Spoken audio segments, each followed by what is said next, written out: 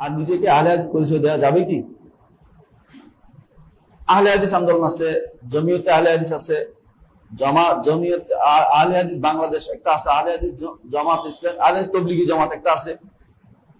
আমাদের কথা হচ্ছে, যেই জিনিস মানহাজগতভাবে শুদ্ধ সেটা যত ভাগে হোক, ভাগের দিকে তাকাবেন না। যারা মানহাজগতভাবে শুদ্ধ, তাদের সাথে আপনি কাজ করবেন। মানহাজ আকিদাও মানহাজ শুদ্ধ, তাদের সাথে কাজ করবেন। এই জন্য একক কোন এমন ভাবে এমন দল অংশগ্রহণ করা যাবে না, এমন সংগঠন থাকা যাবে না, যাদের কারণে আরেকজনকে আপনি বিদায় করতে শিখবেন। আমি কথাটা বুঝাতে পারছি? আপনি একটা গোষ্ঠীতে আছেন, এখন আমার বিনা করছেন কারণ আমি গোষ্ঠীতে নাই কেন এই জন্য। আমি তো আপনার গোষ্ঠীতে না থাকলে আমি তো খারাপ কিছু করতেছি না, এটা আবার দেখেন। আপনার দলে ভুক্ত না হলে আপনি আমাকে ঘৃণা করবেন, আমার বক্তব্য নিয়ে উল্টাপাল্টা করবেন, আমাকে গালিগালাজ করবেন, আমার পছন্দনীয় গল্প নিবেন না কথা নিবেন না, এটাই হচ্ছে নিষিদ্ধ দল করা। শেখ বকর আবু জাহেদ একটা বই আছে, হুকমুল ইন্তেমা ইলা জামাত ওয়াল আহজাব আল ইসলামী আহজাব ইসলামী, এটার একটা বই লিখছেন। এত বড় বই, এটা বাংলা অনুবাদ হয়েছে। এবং এটার দল সংগঠন করার উপরে একটা ইসলাম ইসলাম ডট কম একটা বই আছে। দল সংগঠন বায়াত সংক্রান্ত প্রশ্ন, আলোচনা। যে দুনিয়াতে যে সমস্ত দাওয়াতি সংগঠনগুলো হচ্ছে, দাওয়াত দেয় মানুষকে আল্লাহর পথে। এদের দাওয়াত দিতে পারে, দাওয়াত দেওয়ার জন্য কিন্তু আমাদের কাজে দাওয়াত দেয়া। নিষেধ কখন হয়? যখন আপনার কাছে না থাকলে আপনি আমার ঘৃণা করতে শিখবেন কেন? আমি যদি দাওয়াতের পথে আল্লাহ দাওয়াত দিচ্ছি আপনার দাওয়াত দিচ্ছে আমার সাথে আপনার মতভেদ থাকতে পারে হাজার মতভেদ থাকতে পারে। কিন্তু আপনি এমন ঘৃণা কেন ছড়াচ্ছেন আমার বিরুদ্ধে? গালিগালাজ কেন ছড়াচ্ছেন? এটা হলো নিষিদ্ধ।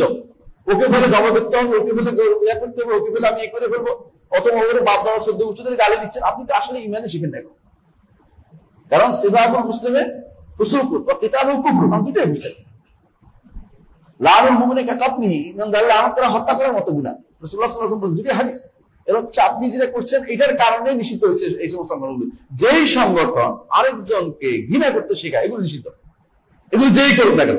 আর যেই সংগঠন মনে করে যে উনি ভালো কাজ করছেন কেরা না খায় আমার প্রত্যেকে ভালো কাজের উপর আছে। এবং আমরা সবাই দিনের কথা বলব, এবং সহি আকিদা থাকব, তাদের কোনো সমস্যা নেই। তারা সবাই আমার কাছে ভালো। এই জন্য এদের অমুক তমুকে যদি কেউ আমার কাছে আসান তাকে সম্মান করব। কিন্তু কেউ খারাপ আকিদা নিয়ে আসলে সে আমার কাছে কোনো সম্মানের পাত্র হবে না। আমি তাকে দাওয়াত দিব।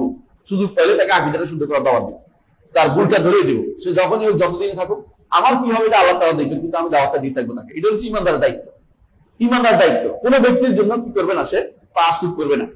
কোন দলের জন্য তা আসুক করবে না। কোন দলের জন্য তা আসুক করবে না। গোলামি করবে না।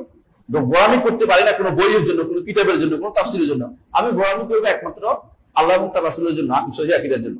এইটা যতক্ষণ পর্যন্ত পাওয়া যাবে যেখানে, সেখানে আমি আসি। আর যেখানে বিরোধিতা হবে বলবে এটা বিরোধী হচ্ছে নাহলে আল্লাহর কাছে আপনি দায়ী হবেন। কেন বললেন না? আপনি জানেন, তারপর বলেন নাই কেন? আপনি জানেন এটা বিরোধী, কেন বললেন না? আমি জানার কারণে, বলার কারণে কিছু মানুষ আগে যায় আসে না। আল্লাহর কাছে আমি ভালো থাকলে হবে। দুনিয়ার মুখে এত ভালো মানুষ দরকার হওয়ার দরকার নেই। আগে আপনি ভালো পাবেন ইনশাআল্লাহ। এটা খেয়াল রাখবেন।